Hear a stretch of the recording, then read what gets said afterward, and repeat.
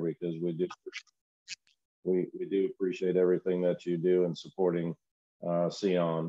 And uh, that is CRI. And uh, I'm not sure if you're online or not, but Ross, thanks for everything. Um, at the USA, Kennesaw State, uh, we've got Chapter 2 as a new sponsor, and that's Jim Dupree. Um, Texas, Community Bank of Texas, and we got our uh, Texas chapter part of us this morning, so that's great. Uh, Lee Davis Law, and uh, we have a big thank you to Capital Grille, who has been a long time sponsor as well. So um, thank you to all of our sponsors. I hope you'll acknowledge it, and I hope you will actually check out your sponsors, see what they do, and see how we can support them in, in their efforts. Um, like uh, just a, a, fast recap, we've, we've kicked off the year in a fast way. Cordelia continues to do uh, phenomenal work as y'all have met her now and probably getting to know her very well. She is our new executive director who uh, truly is connecting us. Uh, one of the things that I probably have learned more so uh, and uh, kind of refocused in on this year um, is what this organization uh, rounds out and really means between paying it forward, which has been a real big focus for us over this past year, but the importance of our net weaving. And that's connecting and helping each other before ourselves through our efforts of net weaving. And, and that's really what I would share with y'all for um, a combination between paying it forward, which is a form of paying it forward, but is our ability of coming together and, and helping each other. And Cordelia has really uh, supported that and come up with some great programs. And you can see the activity that's actually happened. We're seeing a lot of emails now on programs that we're doing and our get together. So um, that connecting point is a real important issue for us for uh, for 2022. So uh, I, I encourage you all to keep an eye on your emails, to stay connected with us, come out and visit us when we are face to face, because that is so important.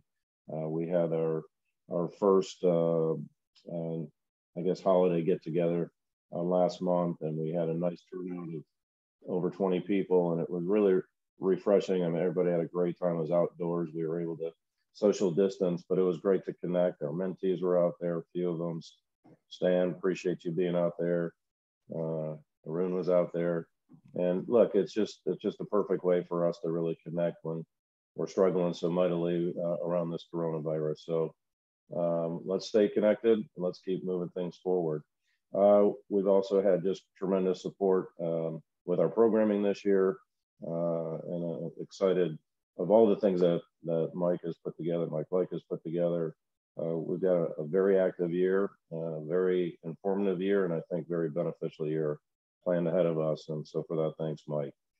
Um, and uh, I will, at this point, probably hand it over to Cordelia. There's a few other things that are going on. Just let her recap before we hand it over to Mike and Amanda uh, to talk about the program of some of the things coming up this month and, and uh, just so you're prepared and, and have an opportunity to, um, uh, to plan this out. So, so Cordelia, if you don't mind sharing uh, the next few meetings in our book club, that'd be great.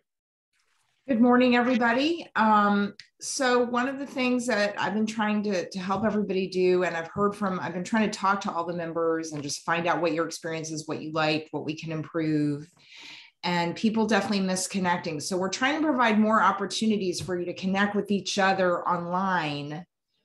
Uh, so the, the, speaker series is a great way to learn and connect a little bit. And then we also have some other programs which are just focused around connecting. Um, so we ha- we have something every week right now. Um, so the first week of the month, we had our first uh, CEO strategies meeting, which we may change the name of that to CEO chat but basically, that we pick a, an issue each month and you just come on the call and talk about your experience with that issue. So there's no speaker, it's not an educational program, it's a chance to talk to each other about the, the issues that you're dealing with or you, have successfully handled. Our January meeting, our inaugural meeting had uh, about seven people, and everybody talked about how they strategically plan for the year. Um, and so that was really interesting. And we're working on a topic for February. If there's something you're working on and you would like to hear the feedback of other CEOs, then let me know and we can make that be the topic. So that the first meeting is just it's it's talking to each other. Um, and then we have our speaker next month, uh, the second week of the month. and Mike will tell you more about that. The third week of the month, we have our happy hour, which will be at an outdoor venue and on a patio. Um, and you're certainly welcome to wear a mask, but we love for you to come out and, you know, to see everybody if that works for you. And then the fourth week of the month, um, and the the connecting events are at lunch. We have our book, our new book club. So uh, Mike will be hosting that. This month's book is called Pink Goldfish. It's a, a book about strategy and branding. So he's going to talk a little bit about the book, but then it's also going to be a conversation. So we do encourage you to read the book. So I've been trying to let everybody know the name of the book so you have all month to read it. um, so we hope you guys will join in that conversation as well. Each month will be a different book, which is professional or business related that somebody in the group has really found a lot of value in. So um, Mike is coordinating that group right now. Um, but if any of you have a book that you would like to talk about, then just let us know and pick your month. So it's really open to any of the members who have something that they want to share in terms of books. So that's what we've got going on right now. We're working on new programming, working on membership. And, you know, I want to hear from you. I've been sending out chat links so you can schedule time with me so I can just hear about your experience, hear what you like what you don't like how we can how we can add more value. And uh, so please do that. And thank you guys all for being here so early. And um, thank you for welcoming welcoming me. Thank you for welcoming amanda. And with no further ado i'm going to turn this over to mike to introduce amanda. And i'm also going to i'm going to as soon as i get off i'm going to mute everybody and then i'm going to unmute mike. But that way everybody will be muted and then you just have to unmute yourself if you want to talk that way we won't have background noise Cordelia, before you uh, hand it to Mike, if you don't mind me interjecting a couple of things, I do want to I do want to share. It's kind of timely, but the the CEO strategies. Uh, fortunately, I, I, I was part of that conversation, and you know this is what we're all about. But what came out of that was uh, some great conversations that each of us shared, but actually engaging. Um, I've had several members step back up and, and, and answer and help me on an issue that I'm having uh, regarding my board of directors and it's that type of connection that's just absolutely invaluable and appreciated. Whether or not it goes somewhere or it doesn't, just the fact that we're engaging. And you know, my goal is to is to really understand your businesses, your your goals and objectives at where you're at in this point in time, because you know we do we do meet, we do talk, but we really are trying to get a little bit more in depth so that we know how to help each other and and how we can support each other. So that really is going to be a major focus, and that program was really rewarding. It also goes to the troikas. Um, you know, we implemented the troikas. It's, it really has been so well received. Hopefully, y'all are engaging and, and starting to meet and, and really get to know each other uh, a little bit more than surface level these days through these programs that we're doing. And it really is one, a, a, phenomenal way to, to get together. And ironically, I was um, happened to be at a, a, a, invited to a meeting yesterday where there were um, business owners, all experienced entrepreneurs that have have really been very successful. Uh, got a chance to share what we're doing at Sion a little bit.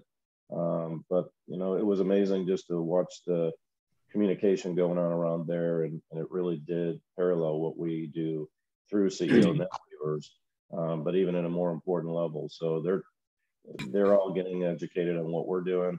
Hopefully we'll see a little, a little interaction of some of those members or some of those folks coming to be members uh, because we had a lot of help for them. There's, there's a lot of programs we're doing that can help them. And one of the things that they were doing, and I'll just throw it out there. Well, first of all, the book that for the book club is on Audible. I do want to make mention of that. So if any of you have a the means to download Audible, you can listen to the book. And then uh, that led me to also thinking about not only uh, recommendations of good books, which we're getting. Bob Littell has supported us with some of those books, but also interesting podcasts.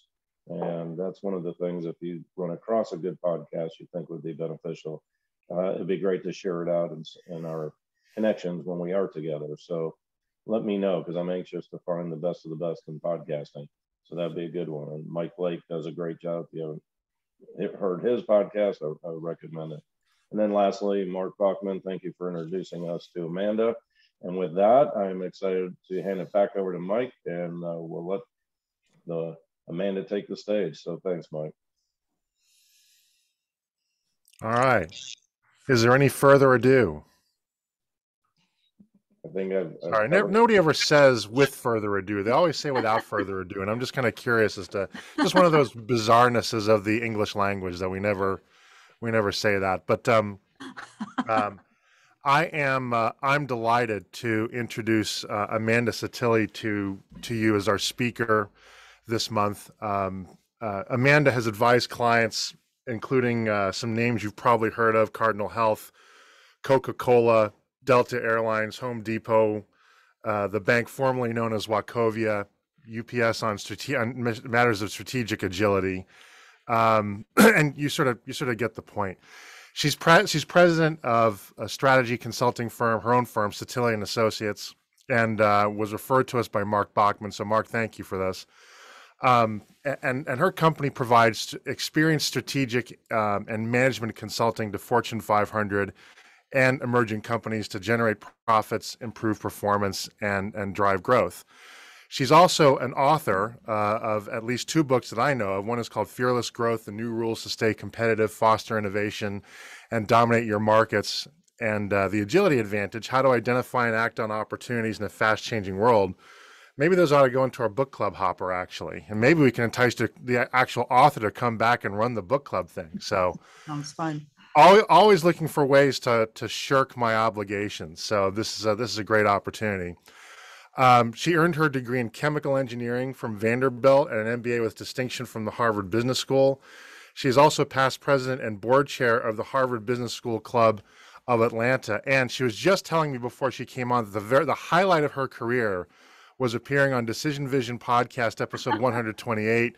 Should I take on more risk, which has now over 200,000 downloads. That last part is not a joke, so it's it's gotten a lot of run. Amanda Setili, thank you very much for um, for for educating us today, and the virtual floor is yours. Thank you, Mike. Can you all hear me okay? Everybody hear me good? Well, well, Mike, thank you for having me on your podcast. It was a lot of fun, a great conversation. And um, the other episodes of your podcast are also fabulous. You inspired me with that to start my own podcast. So if any of y'all want to check out that podcast, it's at setili.com slash podcast. Um, so, you know, yesterday I went to a talk by Professor Tom DeLong at HBS, and he had a really interesting point.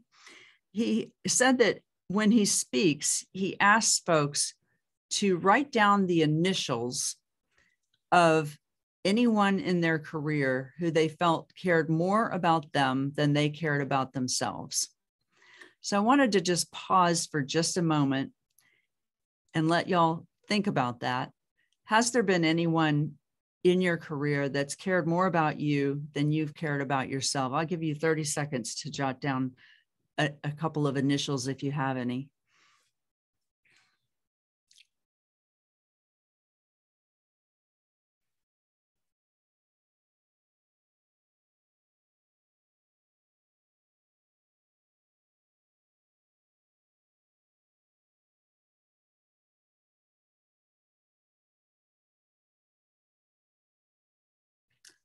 Cordelia, can you change it back to gallery view for just a minute?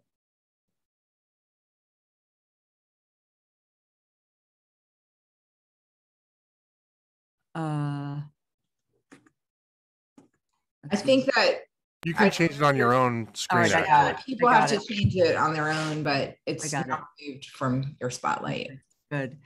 Um, did anyone, did anyone think of anyone in their lives who they felt cared more about them than, than they cared about themselves?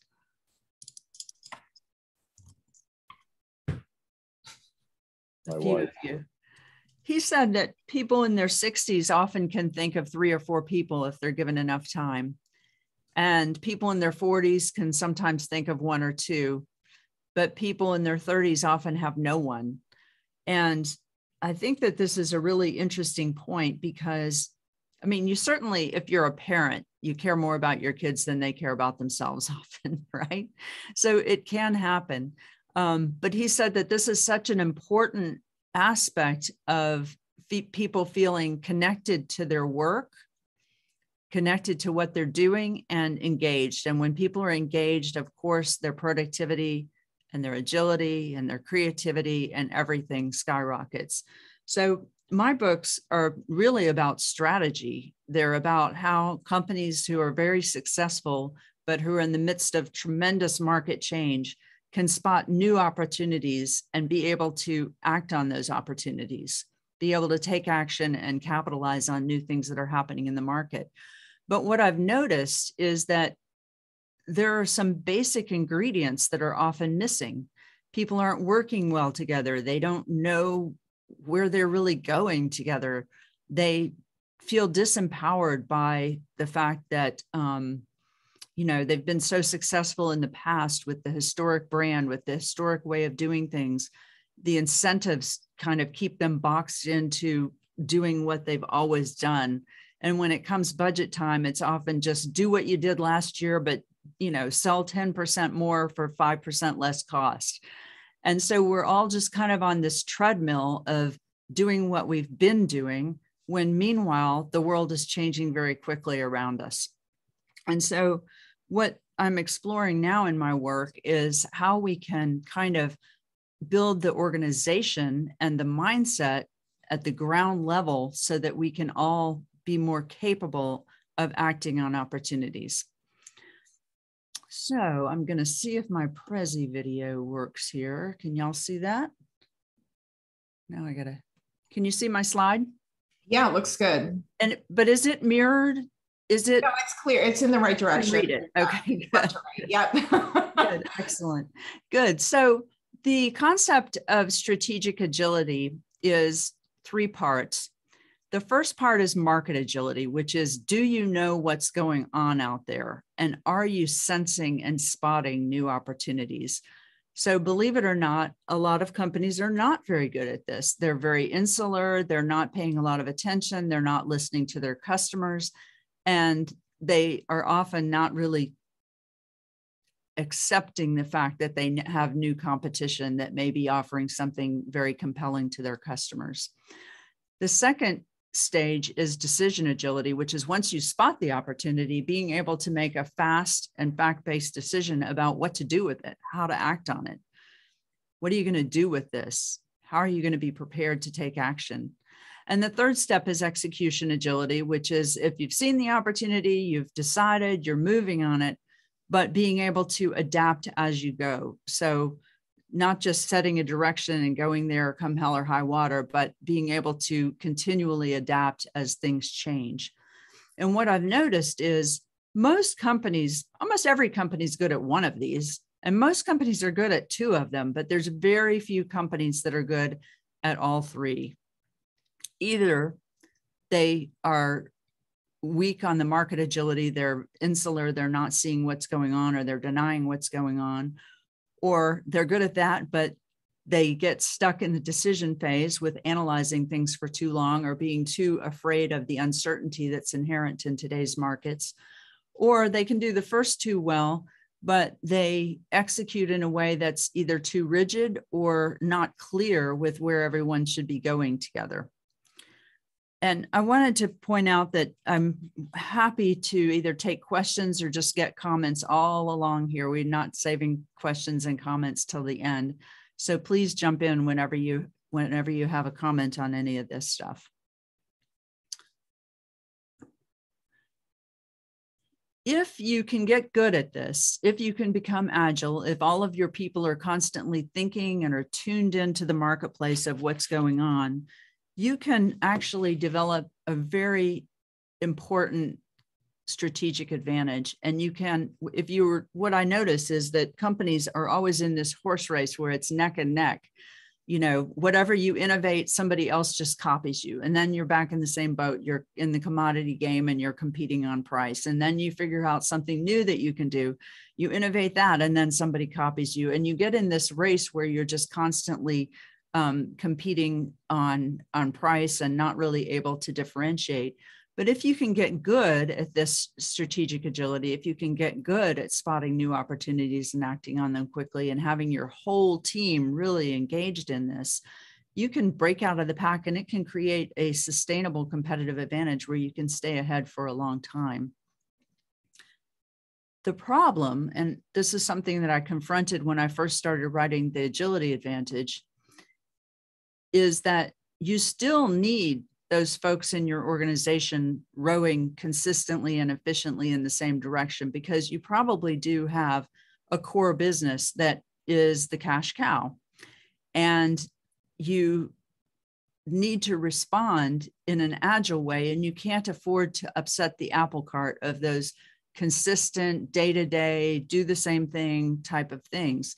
And so um, there's this kind of stress between do we go straight and be efficient and you know teach people how to do things very consistently and drive out variability?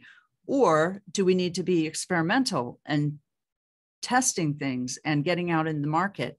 And this is something that um, you know is kind of a an age old question of how do you maintain what you've been doing while doing something new?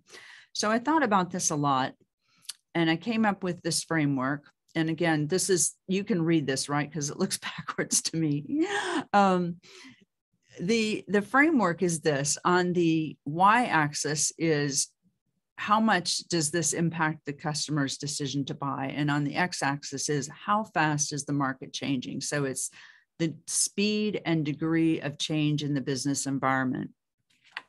And if you can kind of think about the elements of your business, whether it's what your customer service is like, what your digital experience is like, um, the experience in the store if you're a retailer, um, the um, onboarding process, the whatever it is, these elements of your business that you're considering changing, where do they map on this thing? How fast is the market changing?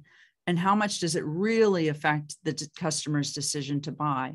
And when you find things that are in that top right box, where it makes a big difference and it's changing fast, that's where you really need to maximize agility and in the other areas, maybe you can just keep doing what you're doing and be consistent.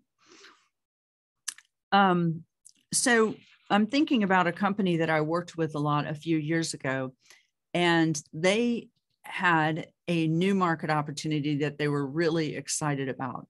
And so they assigned it to several different people. Of course, everybody was very busy with their day jobs. So in each case, it was about a third of the person's job. And they said, go after this opportunity, and here are your teammates. And they were really unable to move because they were still mo- measuring these people on the traditional incentives, the traditional metrics that they had been measuring them on. And each person was doing two thirds of their time on their regular stuff and one third on this new opportunity. And it just moved nowhere for two years because everyone felt like they didn't want to jeopardize their main um, you know their main metrics. And they figured well i can sacrifice this and it, it'll be okay. Something's got to give and after two years of missing the mark and seeing competition pulling ahead they said we've got to do something about this and that's when i got involved and we decided to create a fully dedicated team of folks that were 100% on this not working on anything else. And we asked them, what do you need to be successful at this? Oopsie, did I just blank myself out? Hold on. Do you see me anymore? Oh, I see. There I am. Um, what do you need to be successful at this? And they said, well, you know, we've just got meetings all day long. I don't have time for this. And they said, we don't have any budget to go anywhere. And they said, and I'm not sure I can make these revenue numbers that you you laid out for us last year. This just doesn't, I'm not sure I can get there. And so we decided, what would you need to be successful? And we said, dedicated team, make protect them from all of those routine meetings and administrative things and kind of let them act as a startup, an internal startup. So they don't have to go to the um, staff meetings every week. They don't have to do this and that. And give them a travel budget to go see customers and see what's really going on. And finally, and most important, they were told, don't worry about revenue for now. What we need you to do is learn, go out there and learn. and don't go out there with a polished don't feel that you have to have a perfect pitch for the customer that you explain exactly what we're going to be offering because we don't know what it is we've been trying to pitch this for two years and it hasn't worked go out and see what they really need go out there instead of with a perfect powerpoint or a perfect demo go out there with a whiteboard marker and just get in a room with them and sketch out what they think would be valuable and by shifting the mindset to a learning mindset and by making this a really focused team, they found that there was much better collaboration among the team. They had a clear goal. They were very committed to each other. In a way, back to my first question, they cared more about the goal and each other than they did about their own selves. They were very committed to, to delivering for each other, and the results were spectacular. So this is something that we really need to think about is how can we make more of our businesses like this, where people are really thinking, where they really have clear goals. And I always think back on um, when I worked in a manufacturing facility for Kimberly Clark, it was just such an incredibly fulfilling job because each of us had our role. We were, you know, functionally different. I was in process engineering, other people were in maintenance or or operations or planning or finance or marketing but we all had the same goal of cranking out really great product every day and continuously improving on quality and costs and it's really great when you're on a team like that where the goal is clear where you know what each other can do what each other can contribute and you're operating in an area or a, an atmosphere of very high trust do we have any um, questions, comments at this point?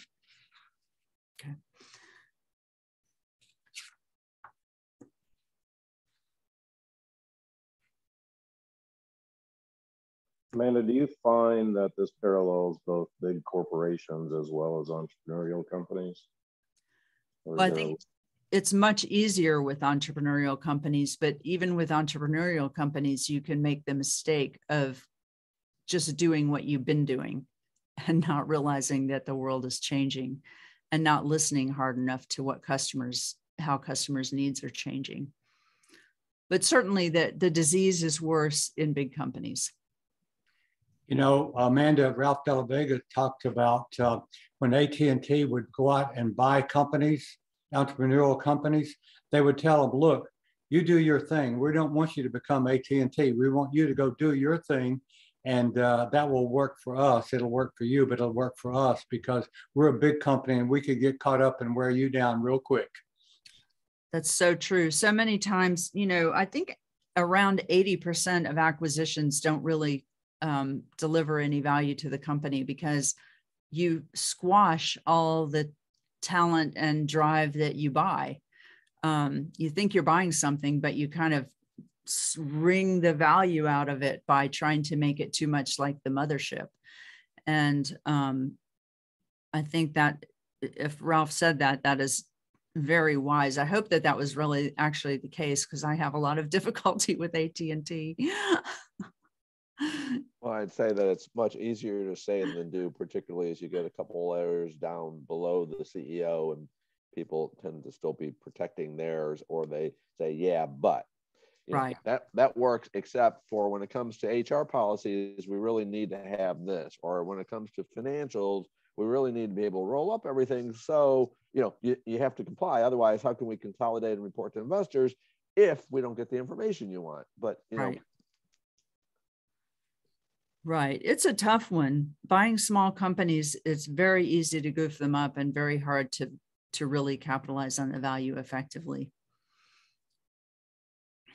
Amanda, I think Ralph was saying that when he was still at Bell South. Maybe it became so. harder. It became a little harder, I think, when he got uh, it was AT and T. I think he was. Yes, this is Ross. I think he was a bit of a renegade and uh, entrepreneurial guy, and he was commenting on the uh, mobility side versus the standard AT and T, which was becoming a dinosaur, right? As everybody gets rid of their phones. Right and uh, he was trying to allow your points are very good amanda on allowing a group of people to not get bogged into the bureaucracy and go out and listen and not feel constrained and and uh, that, and you've seen some companies do that target a group of people that allow them to, to continue to operate Right. Yeah, it works really, really well. i could see that, That- If uh, you can truly give them the freedom and truly make them a cohesive group with a clear goal where they're they're being honest with each other about what each person can contribute and they're um, supporting each other and management is supporting them. and this is your consulting role is you would help someone some large company do that Yes. to implement that okay i get it It's a very typical case. Not every, not all of my consulting projects are like that, but it is a very typical case. I normally get involved when, um, or a very common time for me to get involved is when companies have a goal and they just can't get on the same page of how to get there. Every function has a different point of view and they need someone to help them just get on the same page and decide what, what to do. What what do we need to change and how are we going to change it? So let's see. So So, so Amanda, can, can I ask you a question? sure. Um, so a company acquires a new company, a larger company, acquires a new company and encourages that company to uh, remain um, um, quite consistent with its own mission, uh, or at least and, and to continue to provide value in that in that sense. How about integrating that with the larger company in such such a way that that maintains the balance that you're talking about? That it's the second piece that hopefully you'll spend some more time addressing, because I, I find that quite interesting. It's it's difficult to do effectively but usually when you do buy a company it's because there are real synergies with respect to sharing customers or me- melding the technologies or um, building on the brand that you bought. And so you have to do it very carefully and very thoughtfully in terms of what you're going to allow to stay the same and what you're going to force to be integrated so that's not a very thorough answer because it really depends on the situation, but I think it is one of the trickiest things in business is how to integrate effectively. Yeah, so when you put together one, yeah, Just oh, I would- perhaps at some point you can get into it- specifics of an example of a company that really achieved that balance. That would be informative. I'm going to think about that in the back of my mind while I talk through a couple Okay. more things and try to come up with a really good example. Um, so when you put together one of these teams, it's really helpful to have diversity of thought, not just uh, the conventional idea of a diversity, but creative people and analytical people and people who are good at building buy-in and people who really understand the nuts and bolts and even the skeptics. And um, I got involved in another situation recently where there was a company I was working with that was expanding rapidly, and they were they were buying other companies and attempting to integrate them. And they also had an internal startup, and there was a lot of friction with the internal startup because um, the startup wanted to be set free. They wanted to be like be able to act as if they were venture capital funded and the mothership wanted to say but well what we created you because we wanted you to be able to make our core company better. We wanted you to be able to integrate all that technology and we, we don't want you going off and selling to our customers without telling us what you're doing and giving us visibility into your contracts. We want you to be um, you know partners with us and working hand in hand with us all the time. And this was a great example of the stress that happens when you're attempting to do something new while still doing something old. Um, one of the things that they figured out was that because they were adding so much complexity and buying new companies, operating expenses were growing faster than revenue because you know service was more complicated onboarding was more complicated um, sales was more complicated the salespeople had to understand more things and so a group of folks at this company decided to get together and see if they could fix this problem. And what was interesting about it was that it wasn't the executive team, but it was one layer down. So it was the vice presidents who reported to the executive team And they actually had never worked together closely before. They knew each other, but they had always been very siloed and kind of independently reported to their own um, E team member. And they had not collaborated at all. And so for a couple of months, they attempted to get something going and they weren't going anywhere. So they said, Amanda, come in and facilitate this, please. I was really hesitant to take the project on because I just thought they haven't made progress so far. I'm really worried I can't I can't fix this. Um, but I came in and we brainstormed what were all the opportunities that they saw, and we kind of saw them falling in four buckets. So we just defined these four buckets as being, you know, um, a revenue, a set of revenue opportunities, a set of service opportunities, a set of efficiency opportunities, and um, a set of opportunities related to how do we deal with small customers that are taking up inordinate time. And we put we put together really diverse teams from all different functions to work on each of those things. And they found that they were seeing things that they couldn't see when they were in their silos. When you're working on revenue and you're just from the sales team, you can't see that, oh, we could offer a much lower cost product if we could just tell the service people that they can only you know that they that they need to deal only online with this certain group of people who who bought the lower priced package is just an example. And so we actually um, it was very interesting because once they were working on these four teams it was a smaller group. They were cross functional they came up with new ideas and each week we the only time we could find to meet together was at five o'clock on tuesdays because everybody was like fully booked the rest of every week. But five o'clock every tuesday we would meet for 18 weeks so far. And each week one of these teams would present here's what we're thinking. What do you all what do you all think about this? We would get a cross functional dialogue going of oh yeah that's really interesting what you all came up with. I think we could do it this way. And people were really, really committed to the overall goal. They knew that they had to straighten out this operating expense problem and, and or the gap between revenue and operating expense. And they were very committed to the goal and they were very excited to contribute and very honest with each other about what each of them could contribute. And so far, they've got $17 million worth of opportunities already being initiated and um, underway. So this is the kind of thing that you can do even in a big company. Um, it wasn't an internal startup situation. It was just a problem that we needed to solve, but we were able to isolate the problem, define a clear goal, and put a diverse and um, cross-functional team on it um, to be very focused on solving a discrete part of the problem.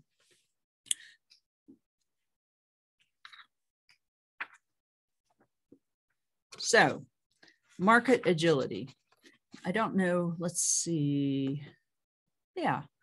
So, when you think about market agility, you're thinking about kind of concentric circles. What's changing inside our company, which could be different kinds of talent coming in, it could be um, new technology that we're implementing, it could be um, something systemic that's changing within the company. And then taking a step out. What's changing in our immediate market? So what's changing with our immediate customers our immediate suppliers? And then the macro level of what's changing in the world in general that might impact us which could be demographics or geopolitics or any kind of thing. And so when people put their mind to it i think they're pretty good at analyzing market change. But i think the thing that they're fairly bad at is admitting what's changing I think many companies are sort of in a sense of denial, like, I don't want that to be changing, so I'm going to ignore it. or we don't want to be naysayers, we don't want to be negative, so no, we're not going to bring up the fact that something is changing that might be very threatening to us. I was working with a credit union who was noticing that their economics were really beginning to decline quite a bit and nobody really wanted to talk about it because they kept ha- hoping that they could turn the situation around. Everybody wants to be good at their job. Nobody wants to say i'm not going to be able to do this next year because i'm in the middle of some very difficult things in the market. And the ceo finally said we have to be honest here. We have to admit what's happening and we have to kind of suss out what's changing and what can we do about it and so they got together and they began talking and they realized that there were some things that were changing in the market that they they couldn't control. Overdraft fees in the market in general had declined to half of what they were. The spread on interest rates had you know gotten to very very small. So the traditional sources of income had dried up. And they said what do we do to fix this once they started thinking about it that way and they all got on the same page of not being in denial but saying this is a real problem i think that the ideas started to bubble up. And when they did that they realized that they could um, you know really improve the digital experience for their customers. They could improve the rewards program on their cards which was a big source of um, revenue the card interchange and they really started listening watching the verbatims on the market research and saying what are the customers really trying to tell us here? And once they did that um, you know they were really beginning to turn the situation around. But if they'd stayed in a state of denial like some of their competitors did i think they would have just had a gradual and slow decline. The other thing that they did very effectively was partner. So one of the things that I've noticed really good agile companies do is they do not keep this strict border around their company. They partner, borrow, and share. So if they have data, they figure out how they can combine it with other companies' data. Of course, paying attention to, um, you know, privacy issues. They share their relationships with other companies. They share their assets. They might lend out their assets or rent out their assets or rent assets from other companies. They share their technology, they share their knowledge. And of course, you need to be careful about your intellectual property and careful with your data.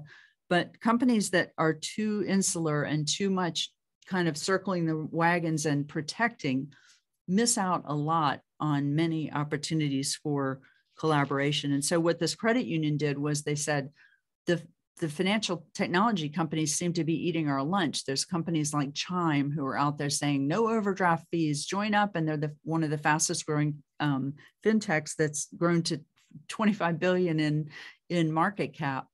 And they said, let's just partner with these companies. Let's set it up where our customers can enjoy what you know the technology that the that the fintechs are offering but do it through us because we own the customer relationship and we have the branch. Um, so that's our advantage. We have something to bring to this party. So, partnering, borrowing, sharing is really an essential aspect of business these days. I don't think you can, the days of being able to be a single company that can do everything is just over. And what I've noticed is that companies can just come out of nowhere like instagram when they were purchased by facebook for 1 billion this was years ago they only had 13 employees. So you can just kind of piece together a company from components that you can get from elsewhere.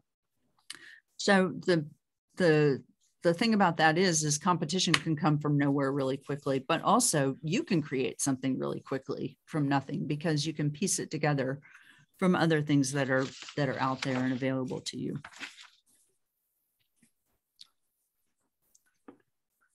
When you do this, you really need to think like an explorer because you don't know where you're going and you don't know exactly what you're going to need. And so you need to just incrementally keep testing, keep trying things and learning from your mistakes and learning from each of your experiences and being very deliberate about it.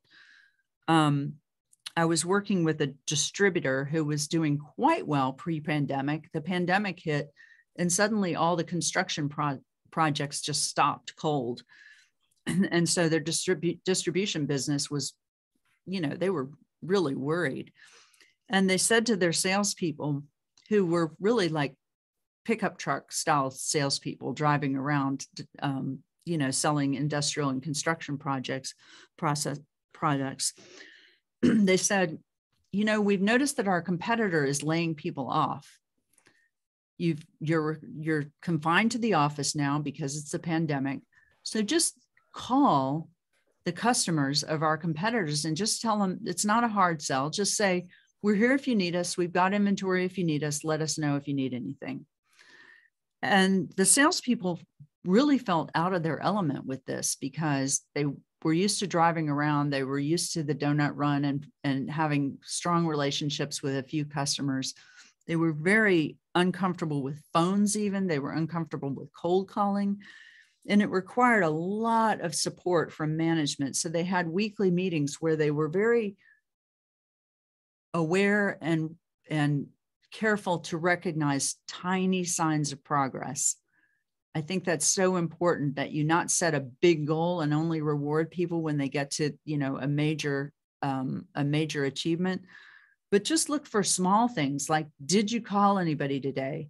Well, what did they say? Did they share any information about with you about um, what they're going to be needing in the future?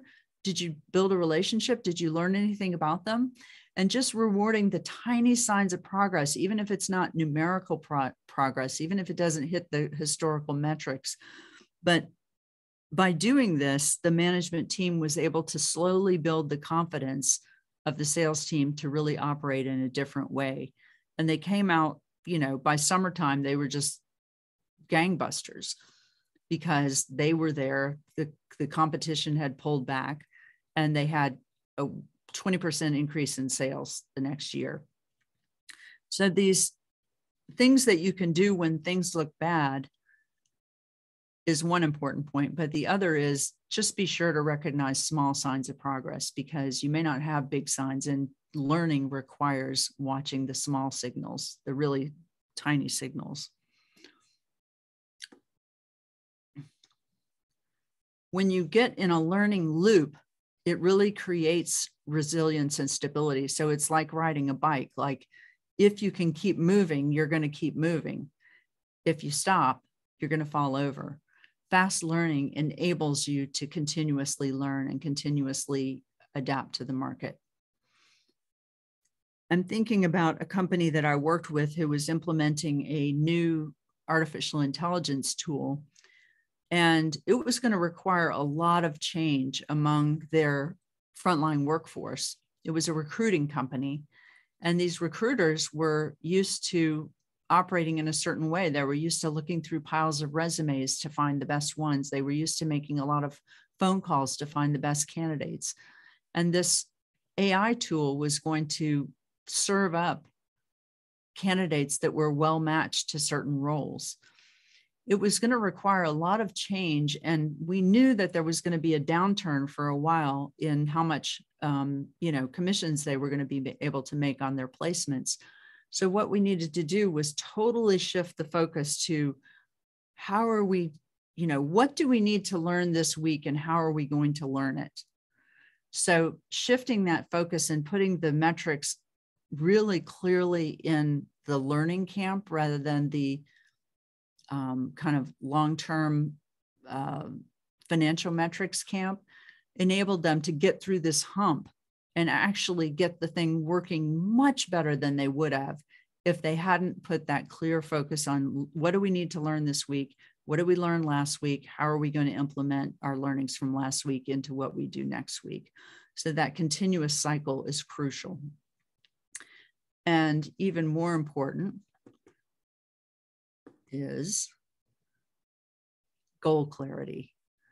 Goal clarity can take you from the left side of the page where everybody's just moving different directions and trying as hard as they can, but all of those vectors add up to zero to having a common goal. And while everybody's not exactly on that goal because they're each in a different function, they're generally headed in the right direction and things can sync up where you develop the momentum to really move fast.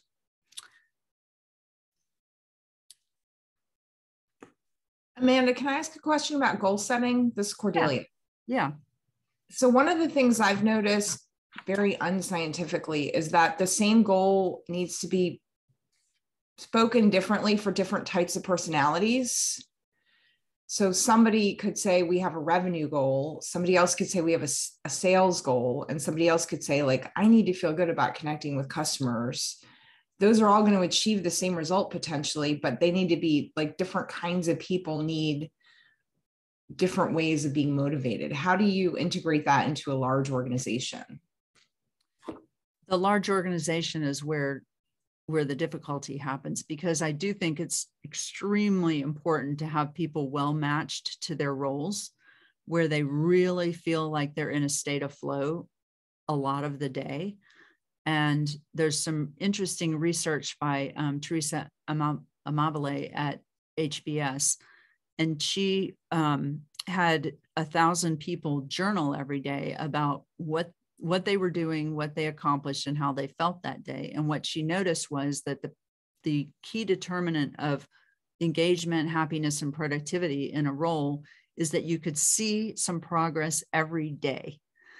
And that the progress wasn't reported to you by your boss, but it was just something that happened as a result of the job. So it might be if you were in customer service, it might be a customer saying, "Oh, thanks so much. I'm I you fixed my problem. Thank you." Or if you're a developer, it might be that you fixed a bug in the program. If you can build the jobs such that the job, you know, gives people feedback every day, that's the ideal state. And you asked about how to express the goal in different terms. I think that matching people effectively to roles so that they're really in a state of flow and they're really doing something they feel competent at, but they're also learning fast is critical. And you need to partner with them to say what what turns you on. Like, how do you think about it? How if I say we need to grow revenue, how do you think about that? And kind of give them some choices, just as you just explained, Cordelia. Um, you know, to get their minds working about how do I want to contribute here? What's my contribution? And have them talk about that with each other. I, I learned a lot. You know, sometimes you learn stuff in the most silly little ways, but I remember when I was like volunteering for something at my kids' elementary school years ago, and everybody was going around the room saying what they could contribute to this project we were working on. And people were saying things like, I'm great at initiating and starting things, but I'm terrible at finishing things. or another person would say, um, I'm a doer, you know, I I'm not typically the one to come up with the ideas, but if you tell me what to do, I can really get it done. And each person was very honest about here's my strengths, here's my weaknesses, laying it on the table because there was, you know, it was no risk, it was just a volunteer thing. And I just found it so helpful. Like now I know who to go to to get certain things done. And I think that that process of goal setting um, in people's own terms, what they think is really exciting about the goal for them, for their role, is very important. So thank you for pointing that out.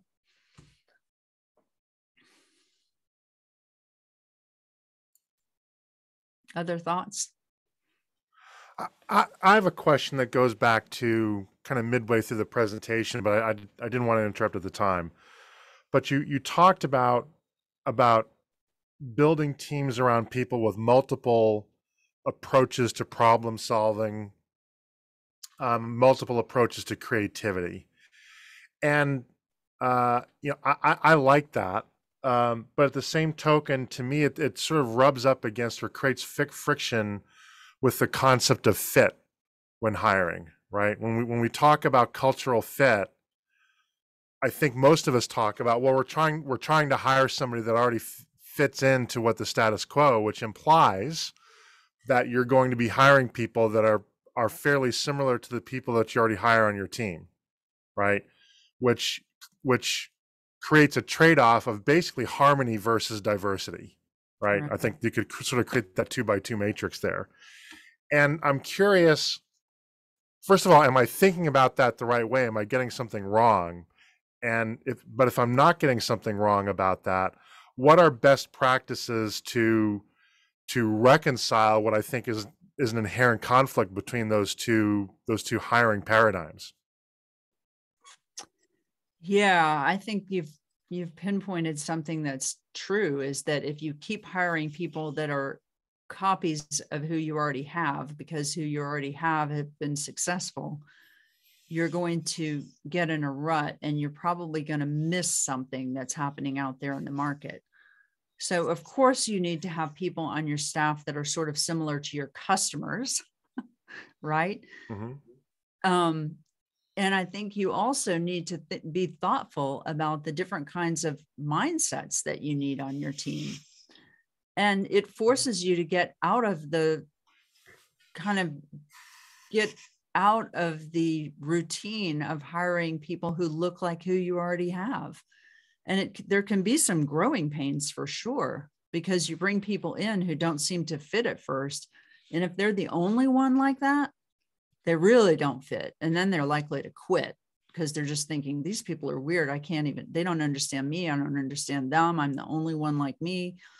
Um, so you need to be very thoughtful about how you expand into adding different types of folks. But when I put that slide up about the diversity, I was partly thinking about when you're already in an organization, there is a lot of diversity there that just is is already there. And so when you put a team together, you can be thoughtful about having the creative folks, the analytical folks, the skeptics, the optimists, the um, nuts and bolts folks, the relationship people, and making sure that you have a good mix just taken from the folks that you that are already there. Are you muted, Mike?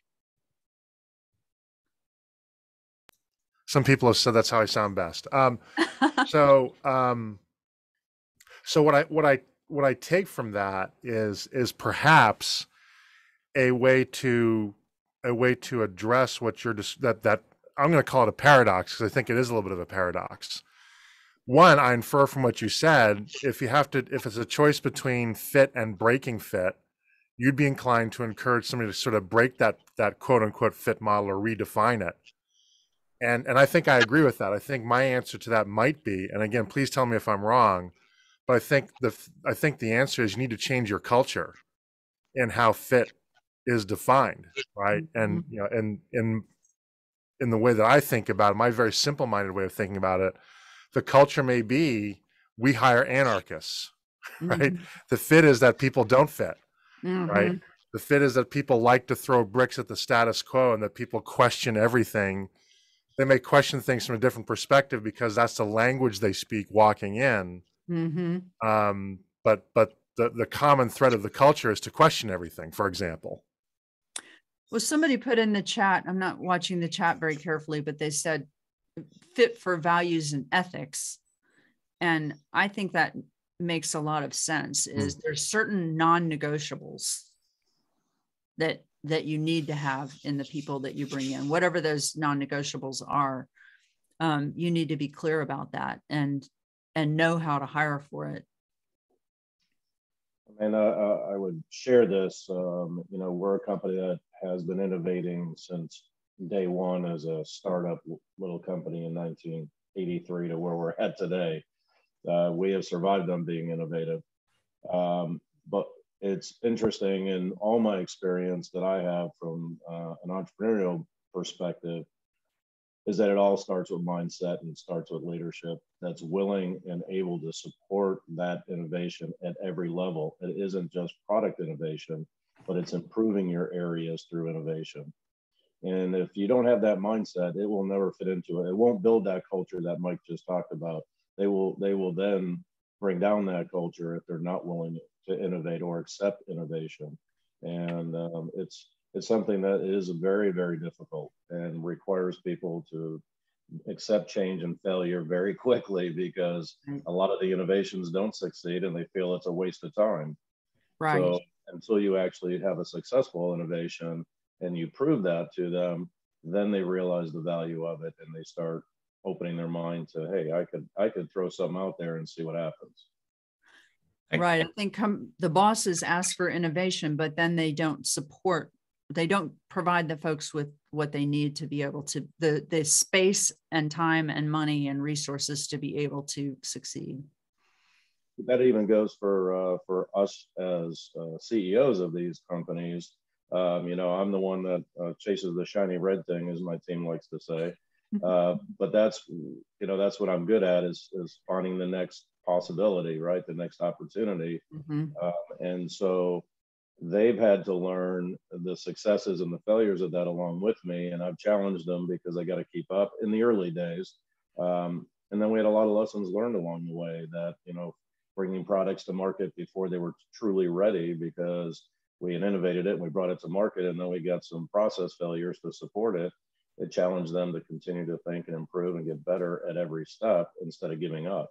And you know, some did, some wouldn't support it and and became barriers. But most of the people, by the time we were done, um, were very open-minded to change and very open-minded to innovation. And it's and it really does lead to a culture of innovation, which um, is so important today. And and I meet with big companies. I met with um, many of you know Alba that was here, at UPS, and we actually sat down a couple of years ago. We're talking about uh, she's kind of running innovation through uh, UPS and and hitting roadblocks at every step. And she's like, I don't know how you do it. You're you're always finding new things and figuring out ways to do it. She goes, I, I, I just get bogged down. Well, she actually I've been watching her for the past few years now the things she's doing, and she is definitely changing uh, the innovation over at UPS. You could do it in a big company or small.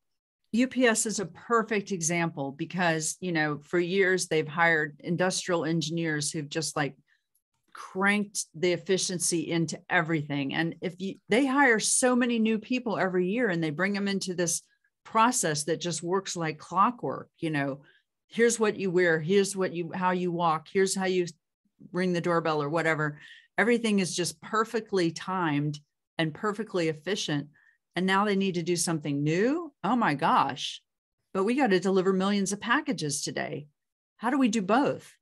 And so, in my experience working with them, that is a big struggle. You know, they're like, do we change the culture? Because the culture really mostly needs to stay the same. We mostly need all that consistency and efficiency that we've always needed. We just need innovation in some areas. So how do we do that? How do we balance those things and and make them both happen? Amanda, um, I, I've I'm just wondering if the following is, is something that would be fruitful to to think about for a minute. Perhaps you've spot, thought about it a lot. I would mm-hmm. imagine mm-hmm. you have.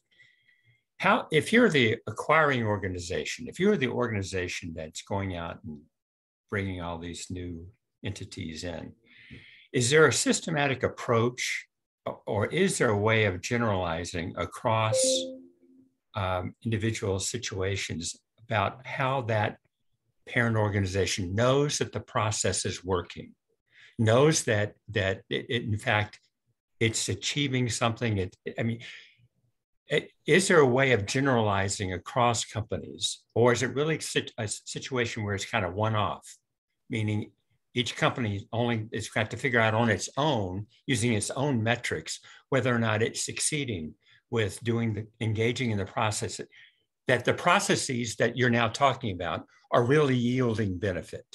I'm just wondering about that. specifically about acquiring and integrating? Are you talking about everything?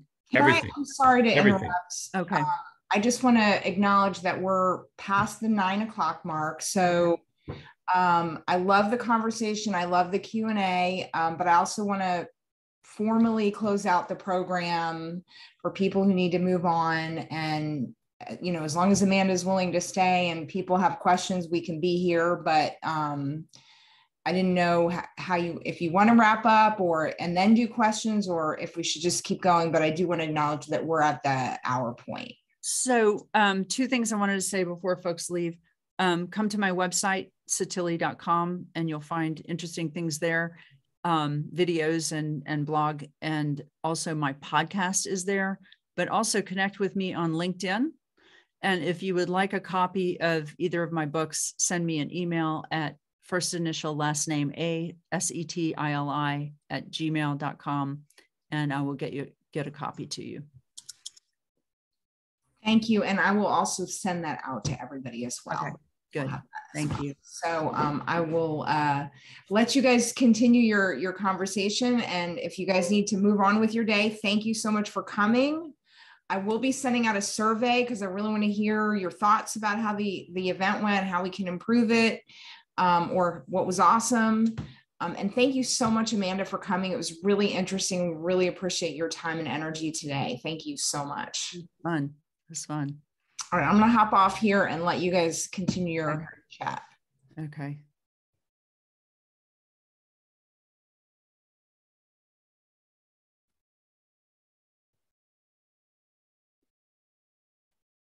Man, I think it was asked about uh, a company that has actually innovated that you've experienced.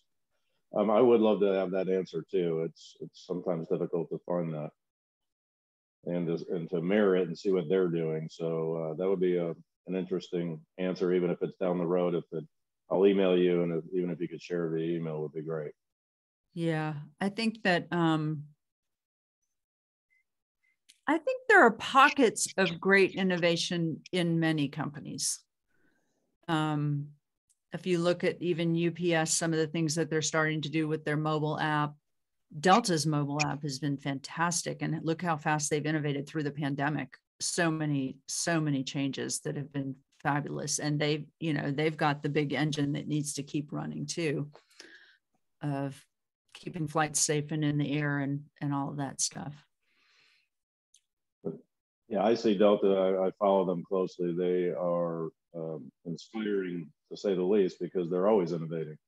And they one of the leaders that I see uh, in innovation at every level, right? How they clean planes, how they communicate, you know, their technology, all of it is unbelievable. And if you, if you, you know, observe that, there's some, I would love to hear how they get to those points and what do these companies do, you know, to really plan this out. You know, my innovation and my experiences, it comes from, you know, people that bring ideas to the table, but we're looking out, you know, a year or two, they're, they're innovating on the fly especially during the pandemic. Right.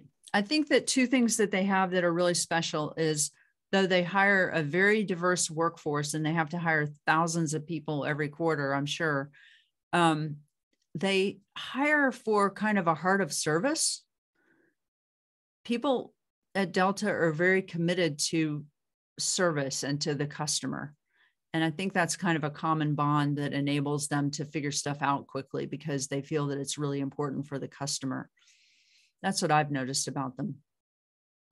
Amanda, one, you know, as we are talking about innovation and and and uh, moving the organization forward, um, isn't there a certain element that I don't think um, was discussed is about the appetite for risk, both for the organization as an enterprise and for the individual as a career. You know, yeah. what if, you know, I go out on a limb? Uh, do I have that support, or is there a, you know, thousand foot drop that you know is going to land me someplace else, um, either with investors or with my career or whatever? You speak to sort of how to instill um, a risk appetite that is appropriately um, bounded? Yeah, so I think that the ability to act quickly amid uncertainty and the ability to know how to manage risk is one of the key differentiators between companies that succeed and those that fail. And I think that that personal fear of getting fired or having an up a misstep or just having a really difficult year with too much work is what keeps individuals from contributing all that they can. And so I think that the key with managing that effectively is to make it much more explicit. So when you have risks lurking in the background and nobody's talking about them, that's when they slow you down.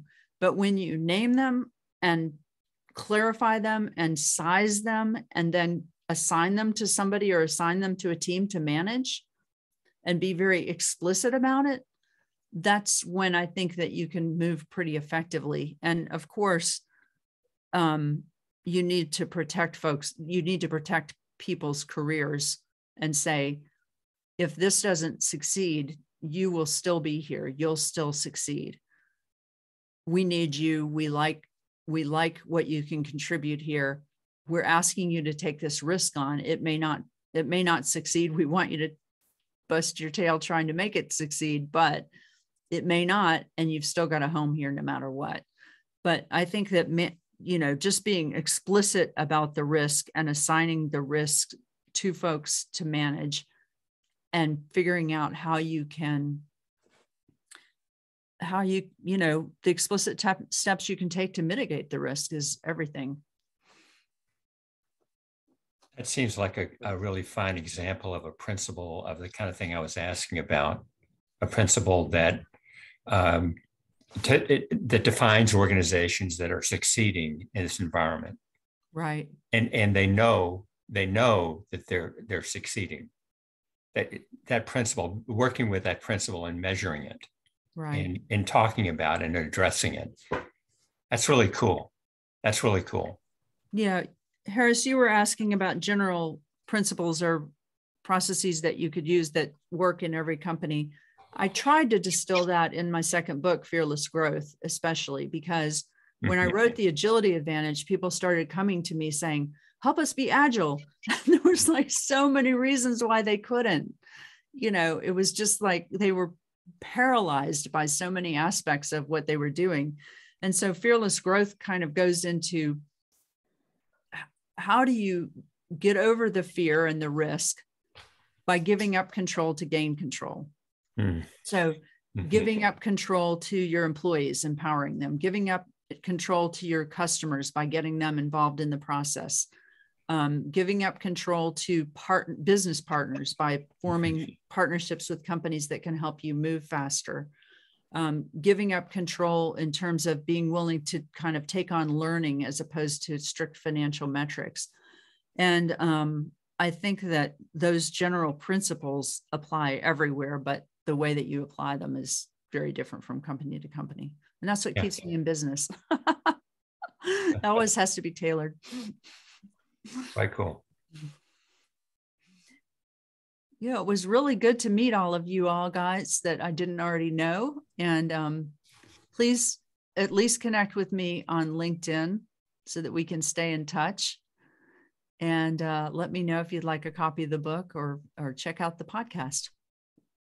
Thank you so much, Amanda. Um, I think if we have any more questions at this point, you should definitely shoot Amanda an email. It's in the chat. I'll send it out or connect with her on LinkedIn. And thank you guys, everybody, for coming. And uh, I hope you all have a just a wonderful day. All right. Thank you so much. It's been fun. Bye. Thank you. Thank you. Bye bye. Thank you, Amanda.